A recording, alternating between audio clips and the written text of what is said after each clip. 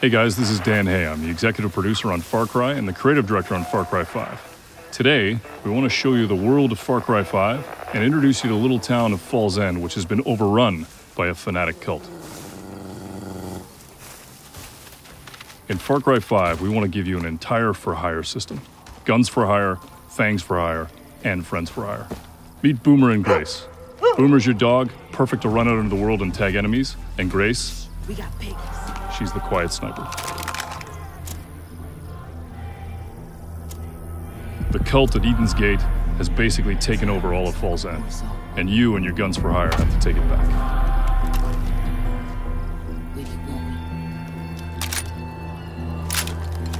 We're going to send Grace, our sharpshooter, to the water tower to get ourselves some covering fire.